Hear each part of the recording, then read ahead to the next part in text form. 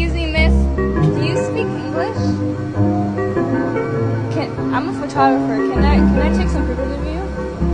Okay, thank you.